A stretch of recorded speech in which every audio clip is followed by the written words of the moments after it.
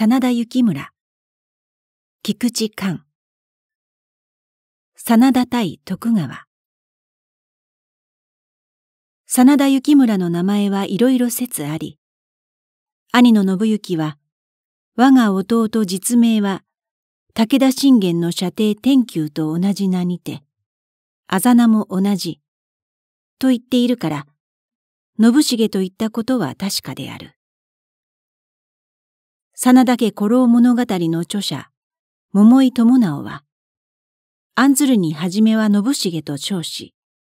中頃幸重、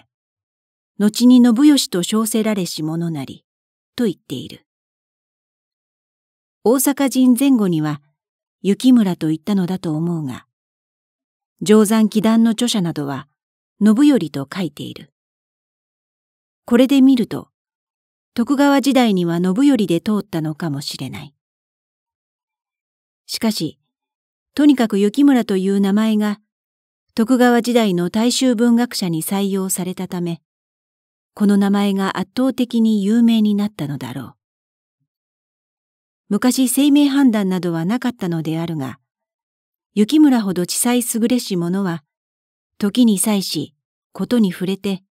いろいろ名前を変えたのだろう。真田は、信濃の名族、雲野小太郎の末院で、相当な名族で、祖父の雪高の時、武田に仕えたが、この雪高が、反感を用いるに妙を得た地称である。真田三大記というが、この雪高と雪村のこの大輔を加えて、四大記にしてもいいくらいである。一体真田幸村が、豊臣家恩子の武士と言うべきでもないのに、何故秀頼のために、華々しき戦死を遂げたかというのに、おそらく父の正幸以来、徳川家といろいろ意地が重なっているのである。上州の沼田は、利根川の上流が片品川と相介するところにあり、右に利根川、左に片品川を控えた。要害無双の地であるが、関東関連家が滅びた後、真田が自力をもって切り取った土地である。武田滅びた後、真田は仮に徳川に従っていたが、家康が北条と講和するとき、北条側の要求によって、沼田を北条側へ渡すことになり、家康は真田に、沼田を北条へ渡してくれ。その代わりお前には上田をやると言った。ところが正行は、上田は信玄以来真田の居所であり、何も徳川からもらう筋合いはない。その上沼田は、我が矛を持って取った土地である。ゆえなく人に与えんこと叶わずと言って、家康の要求を断り、密かに秀吉に使いを出して、属すべきよし言い送った。天正十三年のことである。家康を怒って、大久保忠代、鳥居元忠、井伊直政などに攻めさせた。それを正行が相当な軍略をもって撃退している。小牧山の直後、秀吉家康の関係が難しかった時だから、秀吉が上杉景勝に命じて、正行を講演させるはずであったとも言う。この競り合いが、真田が徳川を相手にした始めである。と同時に、真田が秀吉の恩子になる始めである。その後、家康が秀吉と和睦したので、正行も地政上、家康と和睦した。家康は、正行の武勇侮りがたしと思って、真田の着子信行を、本田忠勝の婿にしようとした。そして使いを出すと、正行は、さようの使いにてあるまじきなり、使いの聞き誤りならん。席帰ってこの旨申されよ。と言って受け付けなかった。徳川の家臣の娘などと結婚させてたまるかという正行の気概思うべしである。そこで家康が秀吉に相談すると、真田もっともなり、中司が娘を養い起きたる間、我が婿にとあらば、承認いたすべし、と言ったとある。家康すなわち、本田忠勝の娘を養女とし、信行に貸せしめた。結局信行は、女房の縁に惹かれて、後年父や弟と別れて、家康に従ったわけである。ところが天正十六年になって、秀吉が北条氏政を上洛せしめようとの交渉が始まった時、北条家で持ち出した条件が、また沼田の活情である。千年徳川殿と和平の時もらうはずであったが、真田がわがままを言ってもらえなかった。今度はぜひ沼田をもらいたい。そうすれば上洛すると言った。この時の北条の使いが、板部岡公設祭という男だ。北条としては、沼田がそんなに欲しくはなかったのだろうが、そういう難題を出して、北条家の面目を立てさせてから上洛しようというのであろう。秀吉すなわち、上州における真田領地のうち、沼田を入れて三分の二を北条に譲ることにさせ、残りの三分の一を名ぐるみ城と共に真田領とした。そして沼田に対する勘地は、徳川から真田に与えさせることにした。公設祭もそれを了承して帰った。ところが、沼田の城代となった猪俣則直という侍ががむしゃらで、条約も何にも眼中になく、真田領の殴るみまで攻め取ってしまったのである。正行がそれを太閤に訴えた。太閤は北条家の条約違反を起こって、ついに小田原征伐を決心したのである。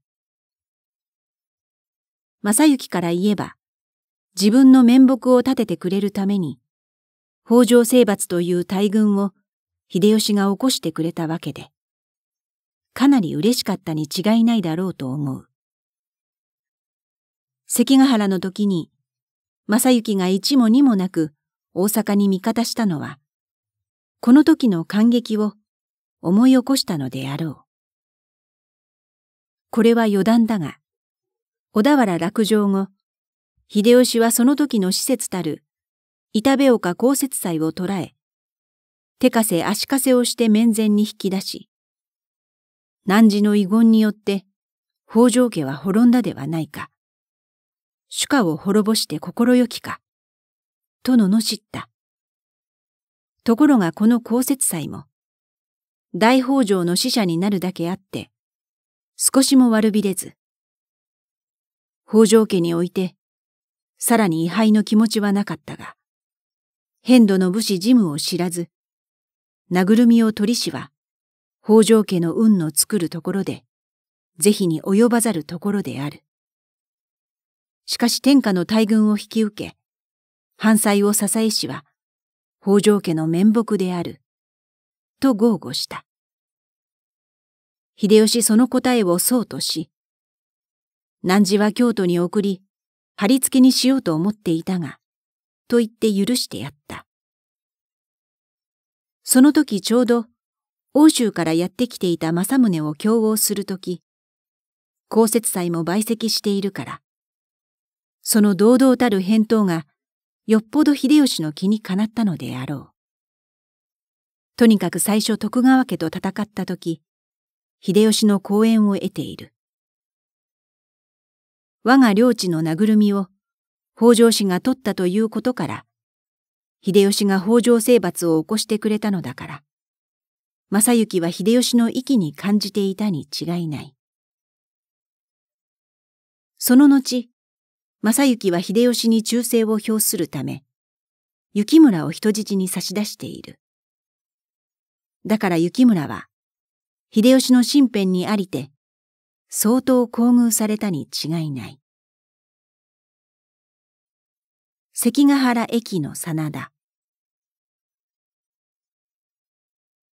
関ヶ原の時、真田不死三人、家康に従って会津へ向かう途中、石田三成からの使者が来た。正幸、信行、雪村の兄弟に告げて相談した。正幸はもちろん、大阪方に味方せんと言った。兄の信行、内府は有略百万の人に超えたる人なれば、打ち滅ぼさるべき人にあらず、徳川方に味方するにしかず、という。ここで物の本によると、信行、雪村の二人が激論した。佐々木光蔵君の大衆小説に、その激論の情景から始まっているのがあったと記憶する。信行、我本田に親しければ、石田に組しがたしと言うと、雪村、女房の縁に惹かれ、父に弓引くようやあるという。信行、石田に組みせば必ず負けるべし。その時東洋の人々、必ず陸を受けん。我々父と弟との危うきを助けて、家の滅びざらんことを図るべしと。雪村曰く、西軍破れなば、父も我も戦場の土とならん。なんぞ兄上の助けをからん。天正十三年以来、宝家の恩子不可し、石田に味方するこそ当然である。家も人も滅ぶべく、死すべき時いたらば、潔く振る舞うこそよけれ。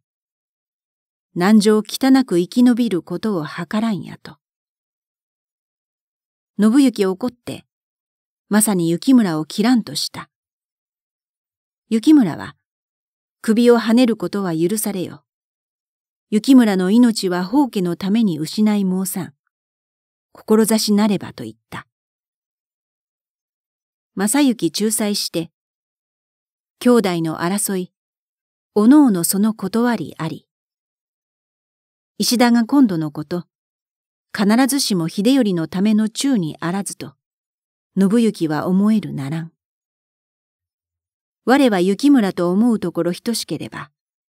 雪村と共に引き返すべし。信行は、心任せにせよと言って、別れたという。この会議の場所は、佐野天明であるとも言い、犬伏というところだという説もある。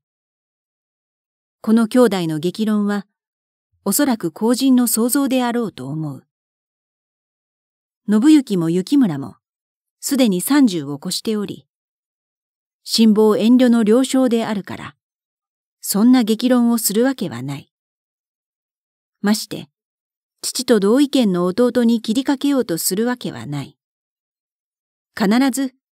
しんみりとした深刻な相談であったに違いない。後年の我々が知っているように、石田型がはっきり破れるとは分かっていないのだから、不死兄弟の説が対立したのであろう。そして、本田忠勝の女性である信行は、いつの間にか徳川に親しんでいたのは人間自然のことである。そして正行の腹の中では、真田が東西両軍に分かれていれば、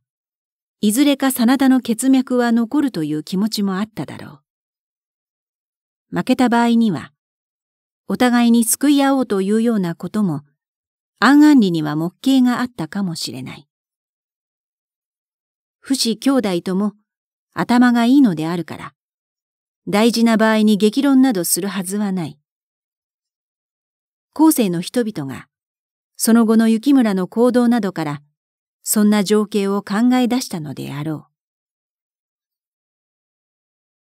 真田が東西両軍に分かれたのは、真田家を滅ぼさないためには上策であった。相場で言えば、売買両方の玉を出しておく、両立てといったようなものである。しかし両立てというのは、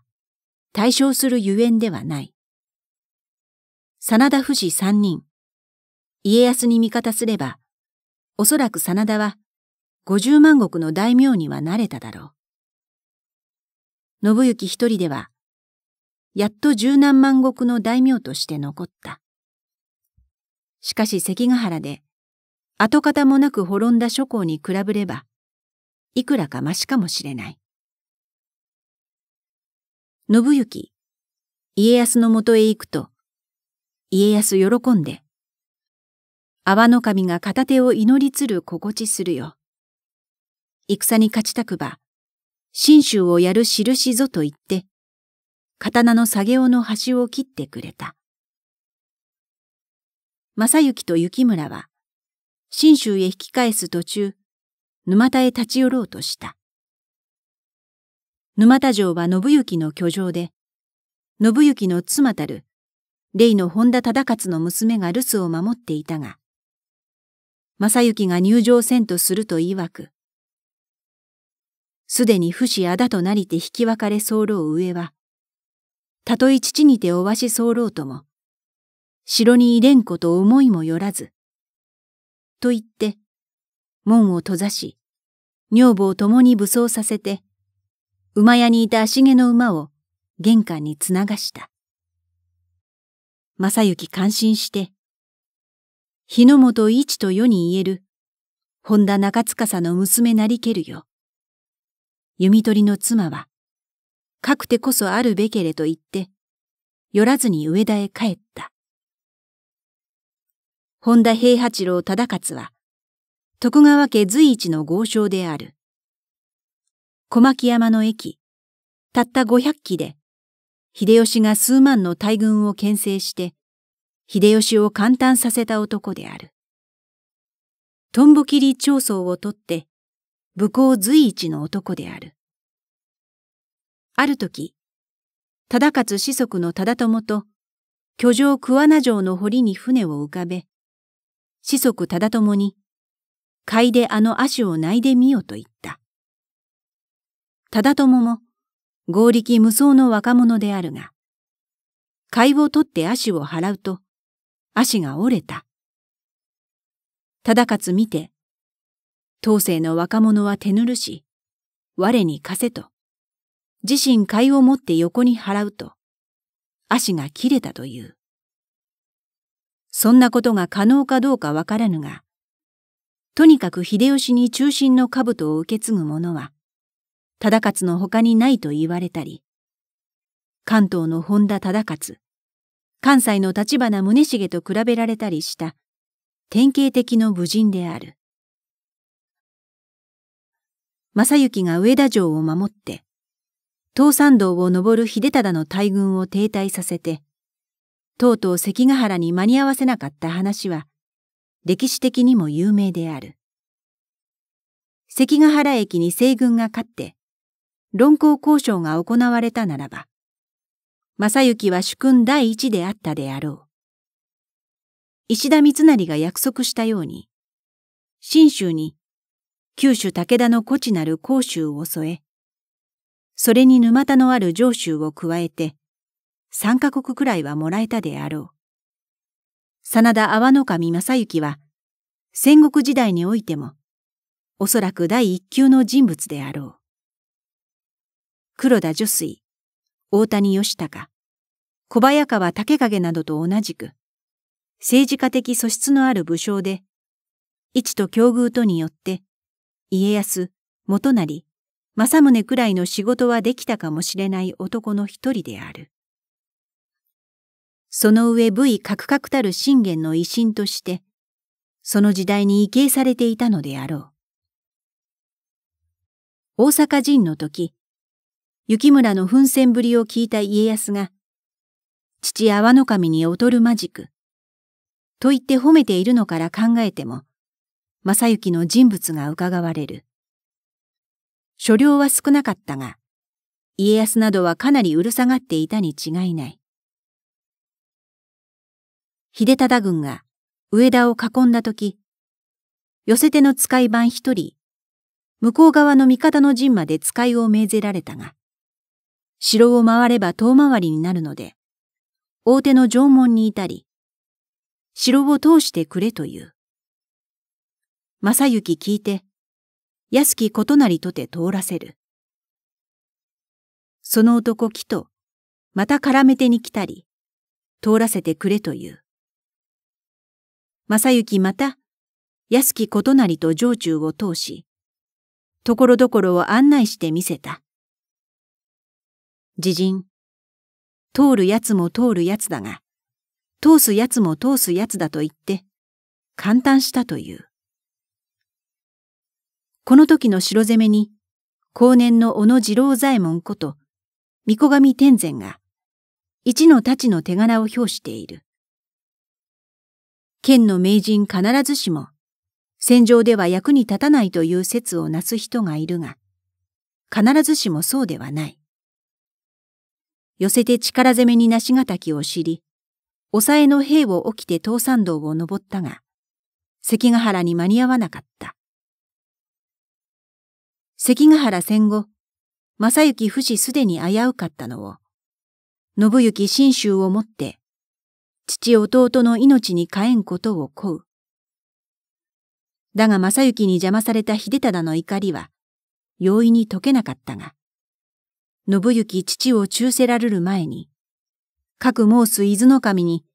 切腹仰せつけられ候へと頑張りて、ついに父弟の命を救った。自陣、義朝には大いに異なる図州かなと感嘆した。大阪入城関ヶ原の戦後、正行不死は、高野山のふもと九度カムロの宿に引退す。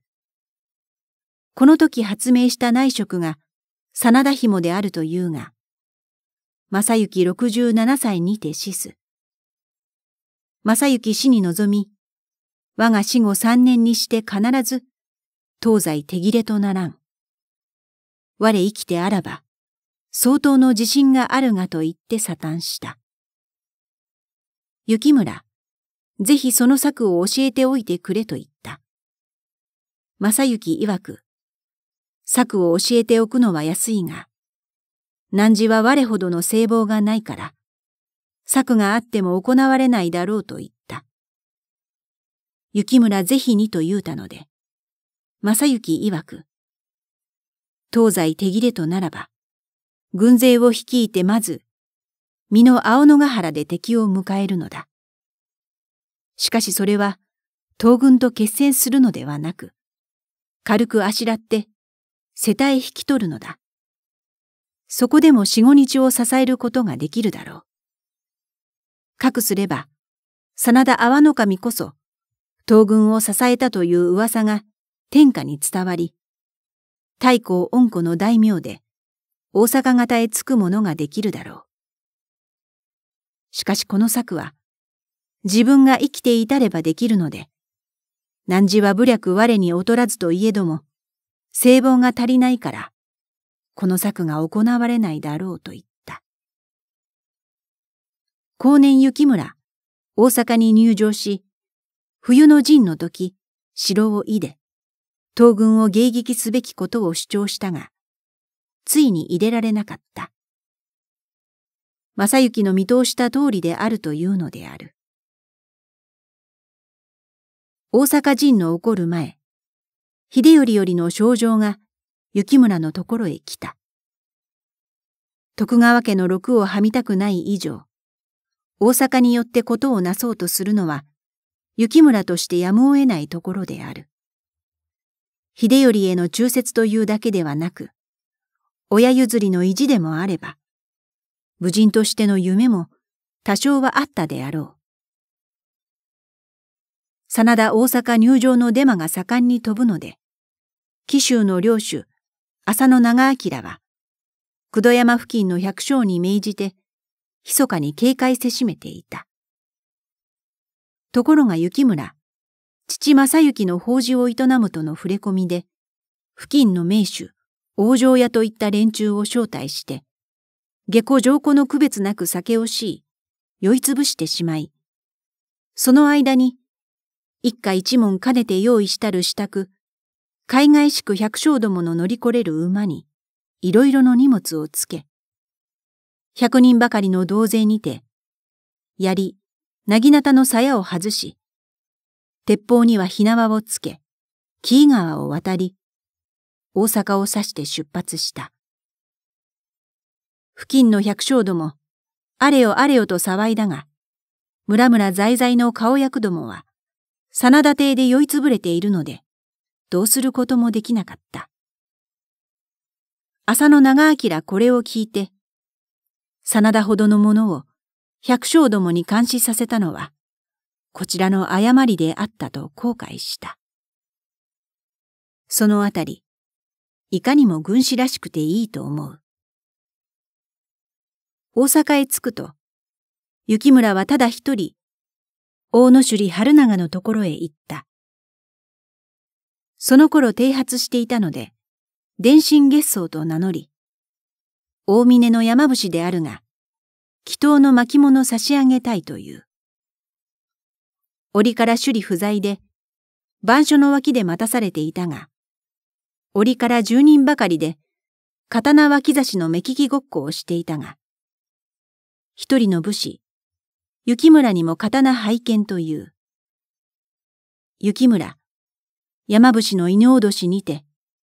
お目にかけるものにてはなしと言って差し出す。若き侍抜きてみれば、刃の匂い、金の光、言うべくもあらず。脇差しもまたしかり。とてものことにと中子を見ると、刀は正宗、脇差しは貞宗であった。ただものならずと若侍ども騒いでいるところへ、春菜が帰ってきて、真田であることが分かったという。その後、雪村かの若侍たちに会い、刀のお目利きは登りたるやと言って、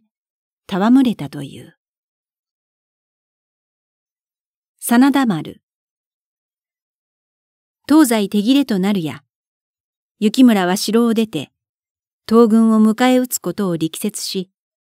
後藤又兵衛もまた、真田説を助けたが、王の渡辺などのいるるところとならず、ついに老城説が勝った。前回にも書いてある通り、大阪城そのものを頼み切っているわけである。老城の準備として、大阪城へ大軍の迫る道は、南より他ないので、この方面に砦を築くことになった。玉造り口を隔てて、一つの笹山あり、砦を築くには屈強のところなので構築にかかったが、その工事に従事している妊婦たちが、いつとはなしに、この出丸を健康に守らん人は、真田の他なしと言い合いて、いつの間にか真田丸という名がついてしまった。上中戦議の結果、首相たることを命ぜられた。しかし雪村は、不代の部下74人しかないので辞退したが、後藤が、妊婦どもまでが真田丸と言っている以上、お引き受けないのは本意ないことではないか。と言ったので、しからばとてものことに、縄張りも自分にやらせてくれ、と言って引き受けた。真田すなわち、正幸伝授の秘宝により、出丸を築いた。真田が出丸の金差しとて、陛下の秘宝になれりと、軽減期参考にある。真田は、冬の陣中、自分につけられた三千人を率いて、この危険な詳細を守り、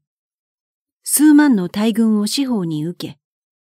恐るる色がなかった。家康の勧誘真田丸の砦は冬の陣中ついに破られなかった。講和になってから家康は雪村を勧誘せんとし、雪村の叔父、沖ノ神信忠を使いとして、信州にて三万石をやるから、と言って、味方になることを進めさせた。雪村は出丸の外に、叔父信忠を迎えて、耐えて久しい対面をしたが、徳川家に着くことだけはきっぱり断った。信忠はやむなく引き返して、家康にその良しを伝えると、家康は、では信濃一国を当て行わん間、いかにと重ねて尋ねてまいれ、と言った。信忠、再び雪村に対面して各言うと、信濃一国は申すに及ばず、天下に天下を添えて賜るとも、秀頼公に背きて不義はつかまつらじ、重ねてかかる使いをせられなば、存ずる胸あり、と断固として言って追い返した。定山祈願の著者などは、雪村が核も豊臣家のために義理を立て通そうとしたのは、必ずしも道にかなえりとは言うべからずと言っている。豊臣家は真田素性の君にあらず、もし君に背かずの義を論ぜば、武田家滅びて、後世を捨てて、山中に隠れずばいかにかあるべき、など評している。が雪村としてみれば、豊臣家には父正幸以来の恩義があるとともに、徳川家に対しては、前に書いておいたごとく、やはり父正幸以来のいろいろの意地が重なっているのである。でないとしたところが、今になって武士たる者が心を動かすべきはずはないのである。豊臣家不代の連中が関東型について城攻めに加わっているのに、不代の真でもない雪村が、断固大阪型に準じているなど、会心のことではないか。なおこれは余談だが、大阪型についた不代の真の中で、片桐勝元などことにいけない。坪内商用博士の霧一葉など見ると、勝元という人物は、極めて辛抱遠慮の侍で、秀吉亡き後の東西の感情融和に、反感苦肉の策を巡らしていたように書いてあるが、嘘である。寸布記など見ると、勝本、秀頼の歓喜に触れて、大阪城退出後、京都二条の家康の陣屋にまかり入れ、御前で東堂高虎と大阪攻め口を絵図を持って防御したりしている。また冬の陣の当初、大阪方が堺に押し寄せた時、勝本主兵を発して堺を助け、大御所への忠説を見せた。など、本校国水日記に見えている。勝本のこうした忌まわしい行動は、当時の心ある大阪の民衆に、極度の反感を起こさしめた。何がしと言える胸郭の都配が、ついに立って勝本を襲い、その兵百人ばかりを殺害したという話がある。勝本、後にこれを家康に訴え、その胸郭を制裁してくれと頼んだが、家康は笑って応じなかった。当時の勝本が大阪びいきの連中にいかように思われていたかがわかるわけである。霧一葉によって勝本が中心らしく伝えられるなど、甚だ心外だが、今に歌いもんでも死ねば、誰もやるものがないからいいようなものの。東西和睦。和平が成立した時、真田は後藤又兵衛と共に、関東寄りの停戦交渉は、全くの謀略なることを力説し、秀頼公のご許容あるべからずと言ったのだが、例によって、王の渡辺などのいるるところとならなかったわけである。雪村はたまたま、越前少将忠直教の臣、原隼人貞種と、互いに武田家にありし時代の旧友でもあったので、一日彼を生じてもてなした。主敗数婚の後、雪村小包を取り出し、自らこれを打って、一子大輔にくせまい数番回せて、今日を尽くした。この時雪村申すことに、この度のご和睦も一旦のことなり、ついには休戦にまかりなるべくと存ずれば、雪村不死は、一両年のうちには討ち死にとこそ思い定めたれ。と言って床の間を刺し、あれに見ゆる鹿の抱えずの打ったる兜は、真田家に伝えたるものとて、父阿波の神譲り与えて候。重ねての戦には、必ず着して討ち死につかまつらん。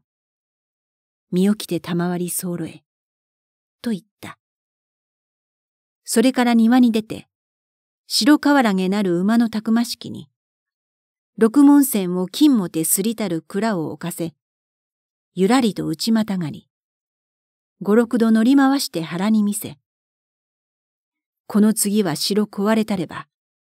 平場の戦なるべし。我天王寺表へ乗り出し、この馬の息続かんほどは、戦って討ち死にせんと思うにつけ、人しを秘蔵の者に候。と言って、馬より降り、それからさらに主演を続け、夜半に至って、この旧友たちは、名残を惜しみつつ別れた。果たして翌年、雪村はこの兜をかぶり、この馬に乗って討ち死にした。またこの和睦のなった時、雪村の気づいた真田丸も壊されることになった。この破壊工事の奉行に、本田正純がやってきて、己の手で取り壊そうとしたので、雪村大いに怒り、抗議を申し込んだ。が正純もなかなか引き下がらぬ。両者が互いにいがみ合っている吉が、やがて家康の耳に入った。すると家康は、雪村が申し状断りなり、正純心得違いなり、と早速判決を下して、雪村に自分の手で勝手に取り壊すことを許した。このあたり、家康大いに肝心の度を示して、あくまで雪村の心を関東に引かんものと試みたのかもしれない。が雪村は全く無頓着に、自分の忍法を使って地形までも跡形もなく削り取り、正幸伝授の秘宝の跡をとどめなかった。天王寺口の戦。元那元年になると、東西の和睦はすでに敗れ、関東の大軍、はや伏見まで着すと聞こえた。5月5日、この日道明寺玉手表には、すでに戦始まり、雪村の陣取った大使へも、その時の声、筒音など響かせた。朝雪村の物見の者、はせ帰って、旗三四十本、人数二三万ばかり、国府越えよりこちらへ小きたり候と告げた。これ、伊達政宗の軍票であった。が雪村静かに障子に寄りかかったまま、さあらんとのみ言った。午後物見の者、また帰ってきて、今朝のと旗の色変わりたるもの、人数二万ほど竜田越えに押し下り候、と告げた。これ、松平忠輝が軍票であった。雪村空眠りしていたが、目を開き、よしよし、いかほどにも超えさせよ。ひとところに集めて打ち取らんには大いに心よし。と嘘吹いた。軍に対して、すでに生産のちゃんと立っている軍師らしい落ち着きぶりである。さて夕げも終わって後、雪村おもむろに、この人種は戦いに弁なし、いざ敵近く寄らん、と言って、一万五千余りの兵を粛々と押し出した。その夜は、道明寺表に陣取った。あくれば六日早誕、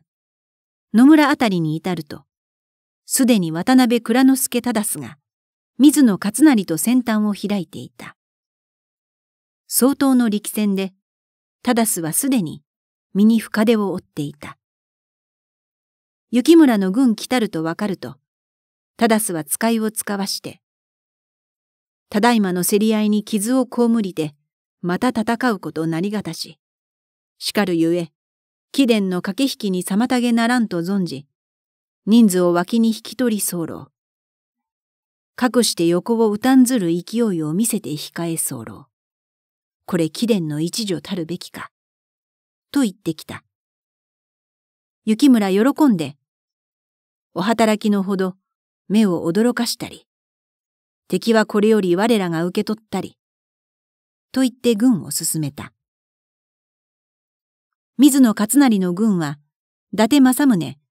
松平忠輝などの連合軍であった。雪村いよいよ現れると聞き、政宗の兵、一度にかかり来る。ここで野村というところの地形を言っておくと、前後が丘になっていて、その中間十丁ばかりが低地であり、左右電柱に連なっている。雪村の兵が今しもこの丘を半ばまで押し上げたと思うと、政宗の騎馬鉄砲八百丁が一度に打ち立てた。この騎馬鉄砲は政宗ご自慢のものである。仙台といえば聞こえた名馬の産地。その俊足に、伊達家の侍の次男三男の総力のものを乗せ、馬上射撃を一斉に試みさせる。打ち立てられて、敵の備えの乱れたところを、煙の下より直ちに乗り込んで、馬蹄に蹴散らすという。いかにも東の兵らしい、荒々しき戦法である。この猛撃に、さすがの雪村の兵も弾丸に傷つき、死する者も相当あった。しかし雪村は、ここを辛抱せよ。片足も引かば全く滅ぶべし。と、先方にはせ下って下地した。一同、そのあたりの松原を盾として、ひれ伏したまま、退くものはなかった。はじめ雪村は、暑熱に兵の弱るのを恐れて、兜もつけさせず、槍も持たせなかった。かくて、敵軍十丁ばかりになるに及んで、使い番を持って、兜を清と命じた。さらに二丁ばかりになるに及んで、使い番をして、槍を取れと命じた。これが兵の心の上に非常な効果を招いた。敵前間近く兜の忍びの尾を締め、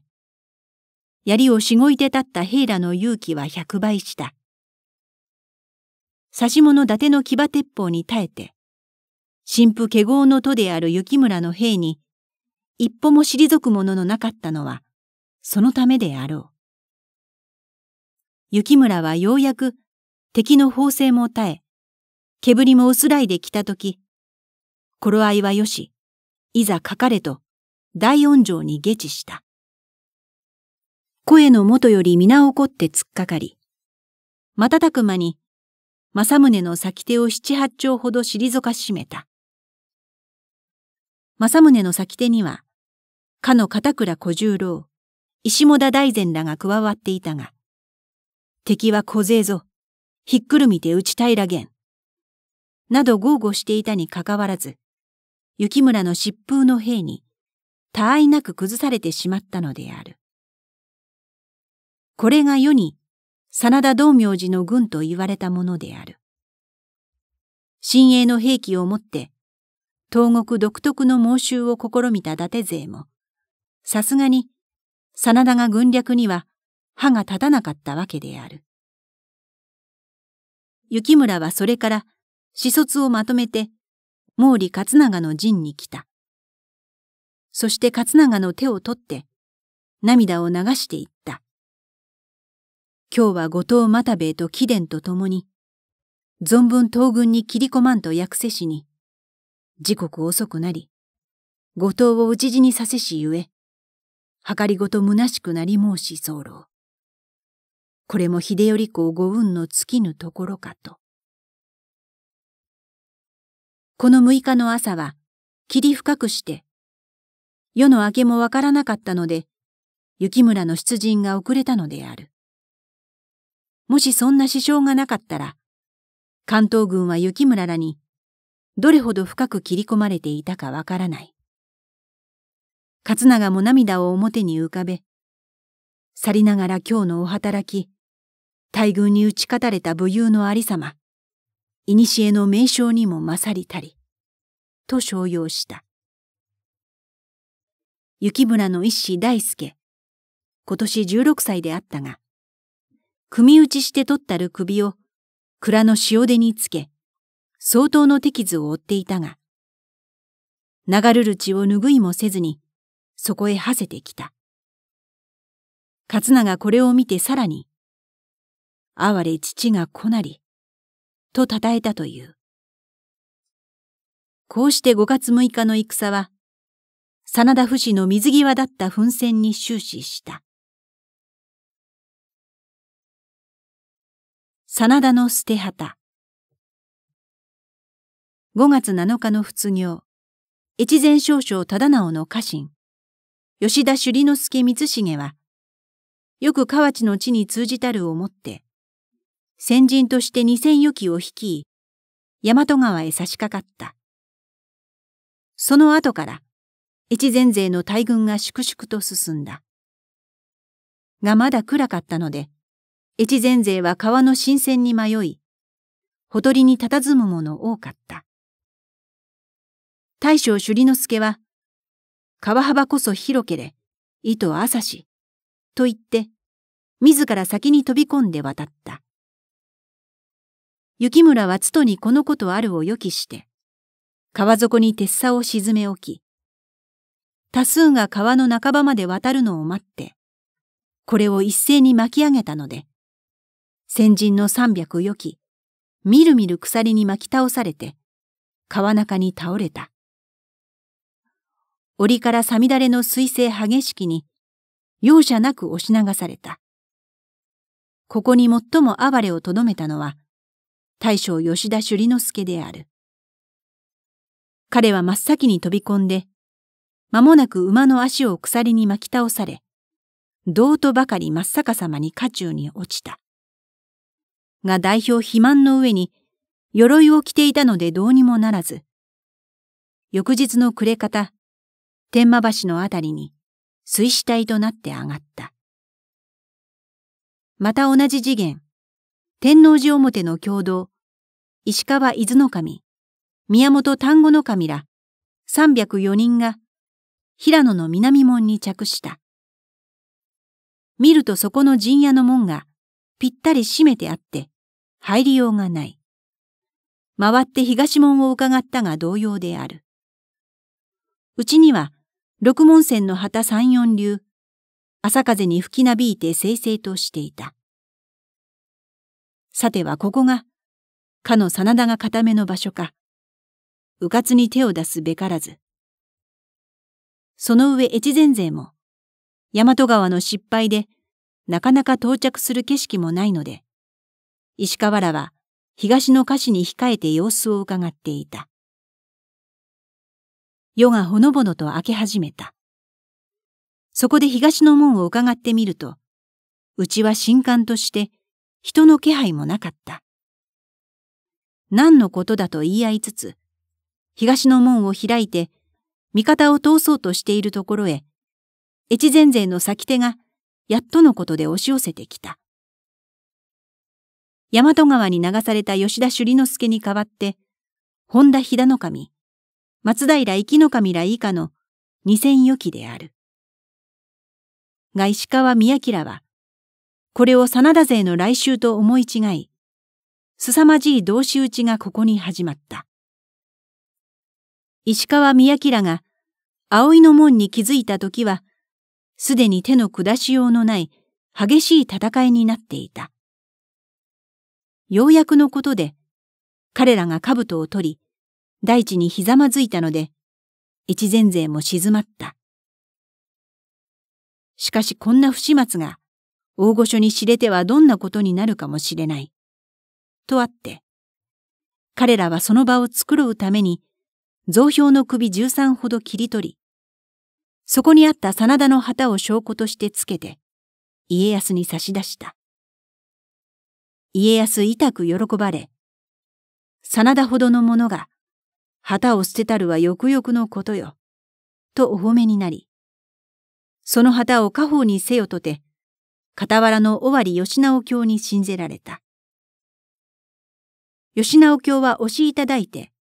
その旗をよく見たが顔色変わり、これは家宝にはなりませぬ、という。家康もまたよく見れば、旗の隅に細字で小さく、捨て旗と書いてあった。実に武略の人よ、と家康は惨憺したとあるが、これはいささか照れ隠しであったろう。寄せ手の軍が、こんな失敗を重ねてぐずぐずしている間に、雪村は軍を、小満院の前から石の花表の西まで、三体に備え、旗馬印を流暢に押し立てていた。さっき天を突き、黒雲の巻き上がるがごとし、という害があった。日も昇るに及んで、いよいよ合戦の開かれんとするとき、雪村は一子大輔を呼んで、汝は城に帰りて、君がご生涯を見届け後果たつべし、と言った。が大輔は、そのことは不代の近習に任せておけばよいではないか、となかなか聞かなかった。そしてあくまで、父の最後を見届けたい、というのをなだめすかして、やっと城中に帰らせた。雪村は大輔の後ろ姿を見、昨日本田にて痛手を負いしが、弱る体も見えず、あの分なら最後に人にも笑われじ、心安し、と言って涙したという。自陣、この別れを桜井駅に比している。雪村はなぜ大輔を城に返して秀頼の最後を見届けさせたか。その心の底には、もし秀頼が除名されるようなことがあらば、大輔をも一度は世に出したいという親心が動いていたと思う。前に書いた原隼人との会合の時にも、せがれに一度も人らしいことをさせないで殺すのが残念だ、と十回している。こういう親心が動いている点こそ、かえって雪村の人格のゆかしさを忍ばしめると思う。雪村の最後雪村の最後の戦いは、越前勢の大軍を真っ向に受けて開始された。雪村はしばしば越前勢を悩ましつつ、天王寺と一心寺との間の辰野丸に備えて、始卒に兵糧を使わせた。雪村はここでひとまず息を抜いて、そのいとまに、明石関門助成豊をして、今宮表より安倍野へ回らせて、大御所の本陣を後ろよりつかせんとしたが、この計画は松平武蔵守の軍勢に阻まれて、着々と運ばなかった。そこで雪村は毛利勝長と義して、いよいよ秀頼公のご出馬を請うことに決した。秀頼公が御旗お馬印を玉造口まで押し出させ、寄せ手の勢力を割いて、明石が軍を目的地に進ましめることを図った。真田の穴山小助、毛利の小林一平次らがその緊急の死者に城中へ走った。この死者の往来しつつある猶予を見つけたのが、越前型の監視、榊原飛騨守である。飛騨守は、今こそ攻めるべし、送るれば必ず後より追撃されん。と忠直教に言上した。忠直教早速、射程伊予守忠政、出羽守直次をして左右両軍を連ねさせ、二万余機をもって押し寄せたが、雪村は今しばらく待って戦わんと、町味方の備えをもってこれに当たっていた。すると意外にも、本田忠政、松平忠明、渡辺大谷などの備えを、シャニムに切り崩して、真田が陣へ駆け込んできた。また水野勝成らも、昨日の灰を報いん者と、小満院の西の方から600人ばかり、時を上げて攻め寄せてきた。雪村はついに、三方から敵を受けたのである。もはやこれまでなり、と意を決して、兜の忍びの尾を増花形に結び、これは討ち死にの時の結び用である。馬の上にて、鎧の上帯を締め、秀頼公より賜った聖面の陣羽織をさっと着流して、金の采配を追っとって敵に向かったという。三方の寄せて合わせて三万五千人。真田勢わずかに二千四人。しかも寄せての戦績はかばかしく登らないので、家康は清門で、稲富喜三郎、田付兵庫らをして、鉄砲の者を召し連れて、越前勢の傍らより、真田勢を鶴瓶打ちにすべしと命じたくらいである。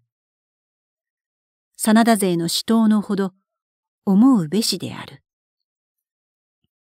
雪村は三つの深手を追ったところへ、この鉄砲組の弾が左の首吊りの間に当たったので、すでに落馬せんとして、蔵の前輪に取り付き、差しうつむくところを、忠直教の歌詞、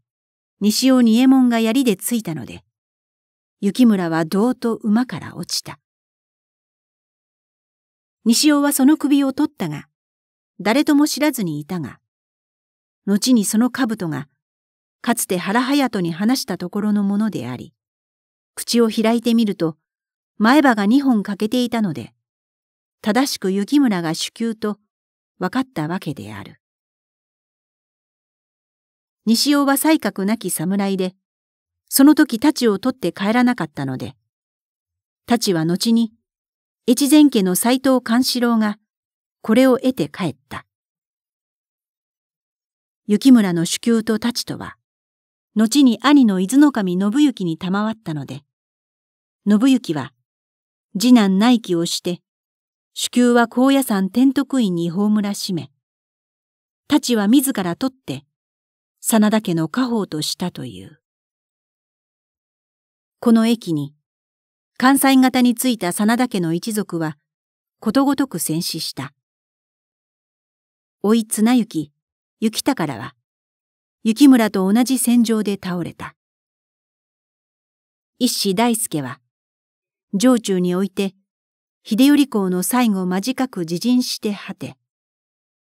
父の言葉に従った。